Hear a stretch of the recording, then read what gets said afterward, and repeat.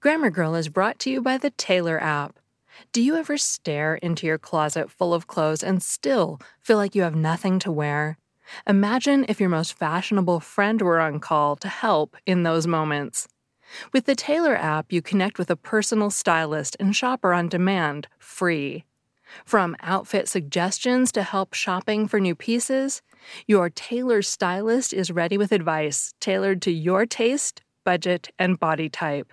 Head to meettailor.com slash grammar to download free today. That's M-E-E-T T-A-I-L-O-R dot com slash grammar.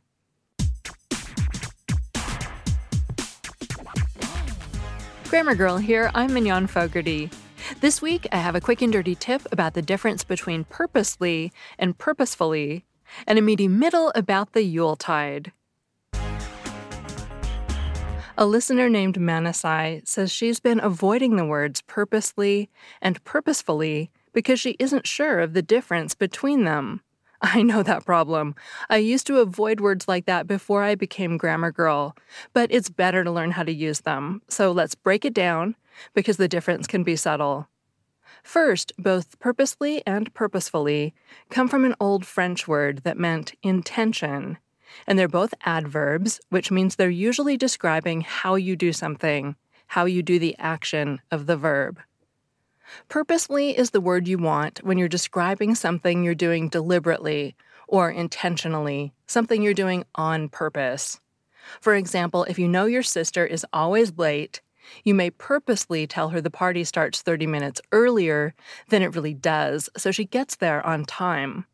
And here's an example from the comedian George Carlin. He said, quote, A lot of times when a package says open other end, I purposely open the end where it says that. Unquote. He does it on purpose. Purposefully describes the action or demeanor of a person who's determined or resolute. If you want to convey a message to your brother across the dinner table without speaking, you may purposefully raise your eyebrows. Here's an example from the book Will Tanner, U.S. Deputy Marshal.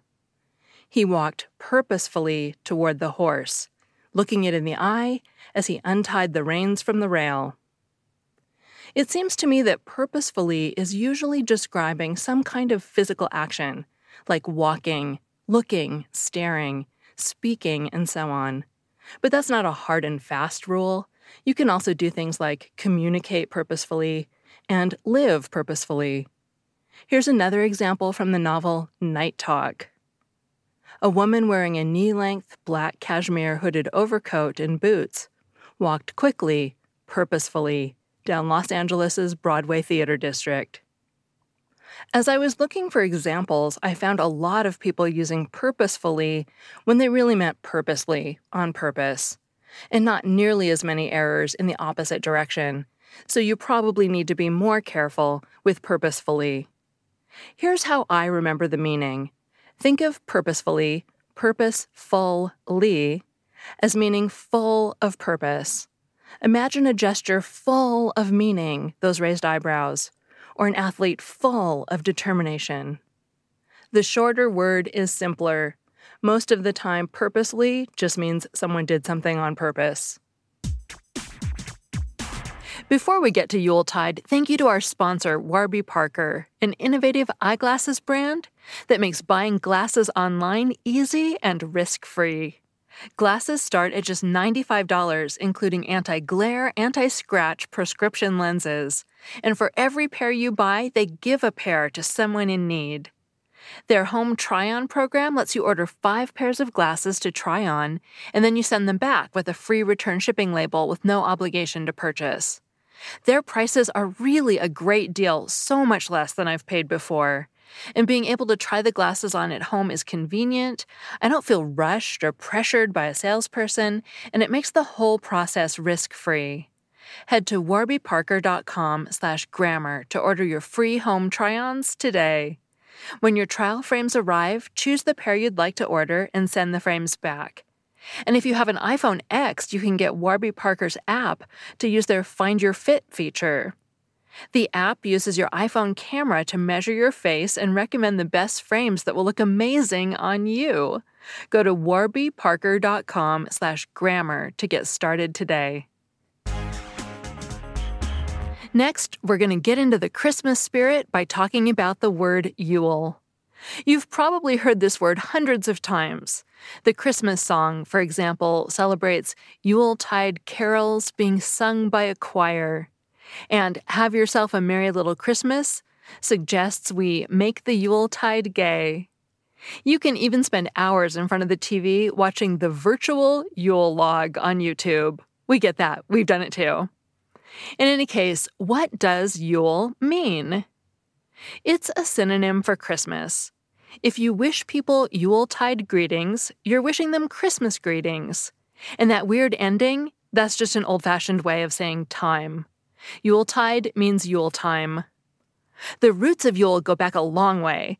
It comes from the Old English word Geol, spelled G E O L, which referred to Christmas Day or the Christmas season. It's also related to the word Geola, G E O L A, which referred to the months of December and January. A 7th century monk known as the Venerable Bede is the first recorder of this word. He described how the ancient Angles, a Germanic tribe who settled in Great Britain in the 5th century, divided the year into two halves, defined by the solstices. They called the month before winter solstice Era Geola, and the month after it Eftera Geola. By the way, in case you didn't know, the summer solstice is the longest day of the year. It occurs on June 21st or June 22nd in the Northern Hemisphere. After that, days get shorter and nights get longer. The winter solstice occurs on December 21st or 22nd, again in the Northern Hemisphere, and it's the shortest day of the year. After that, the days get longer and the nights get shorter. For the Southern Hemisphere, flip those around. This leads us further into the history of Yule. You see, this word is also related to the Old Norse word Yule, spelled J U L. Yule was a festival of the winter solstice, celebrated by Anglo Saxons and Scandinavians. In the northern parts of Europe where they lived, the winter sun rises as late as 11 a.m. and sets just a few hours later. We can only imagine how oppressive that darkness was without electric lights. Yule was a celebration of, literally, brighter days to come. Over time, the winter solstice became the major festival of Northern Europe. It was celebrated with traditions that sound suspiciously familiar to those of us who celebrate Christmas. For example, there were elaborate feasts, especially with roast pig. These may have represented sacrifices to the Norse god Freyr. After all, he was responsible for creating bountiful harvests, health, and peace. Furthermore, Freyr was usually depicted with a golden bristled boar named Gullinbursti beside him. Festive greenery, cue holly and mistletoe, were also used to decorate for Yule. Holly was said to keep away evil spirits and witches. Mistletoe was believed to have magical powers of healing. In one story, mistletoe was used to both kill and revive Baldur, son of the Norse gods Odin and Frigga. Mistletoe berries are sometimes said to have come from Frigga's tears. And after Baldur was revived, Frigga declared mistletoe to be a symbol of peace, friendship, and love. And of course, people celebrated the coming of longer days by lighting huge bonfires, or sometimes just burning special logs on the hearth. These were often made of oak, in which Scandinavians believed lay the origins of humankind. You can think of these fires as the earliest versions of the Yule log that we know today. As Christianity rolled across the land, many people let go of their quote unquote heathen beliefs and accepted this new religion. But they were loath to let go of their ancient traditions. And so feasting, the hanging of holly and mistletoe, and the burning of a Yule log were rolled into Christmas and became part of that holiday's traditions. By the way, you may be glad that some of the Yule traditions didn't continue. These included running around wearing animal masks, hanging dead male animals from trees, and placing the severed head of a sacrificed horse on a pole. Yikes. And in case you're wondering how this all comes back around to Christmas, here's the deal. No Christian churches claim to have any record of the actual date of Christ's birth. Early Christians didn't seem to care about this too much. Some even ridiculed the concept that a god could have a birthday. That changed in the 4th century AD, when we find the earliest record of people holding a nativity festival. It was in Rome on, guess what, December 25th.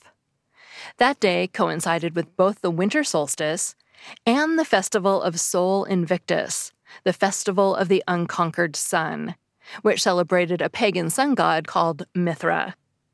We don't know for sure who in the Christian church decided that December 25th should be celebrated as the birthday of Jesus. They may have chosen this day to turn people away from the worship of the actual sun to the worship of Jesus, also known by Christians as the Lord of Light. Or this may have just been another example of the church, quote, tolerating and absorbing pagan customs as it spread over pagan lands, unquote. In sum, the word Yule actually has a rich and ancient history, and it shows that even before the advent of Yuletide, humans have always found a reason to celebrate, even on the coldest, darkest days of the year. That segment was written by Samantha Enslen, who runs Dragonfly Editorial. You can find her at dragonflyeditorial.com or on Twitter as dragonflyedit. I'm Mignon Fogarty, better known as Grammar Girl. You can find me online as Grammar Girl at Twitter and Facebook. And you can find all my old articles and podcasts at quickanddirtytips.com. And in case you can't remember a specific offer or code, you can now find links to most of my advertisers at quickanddirtytips.com slash offers. That's all. Thanks for listening.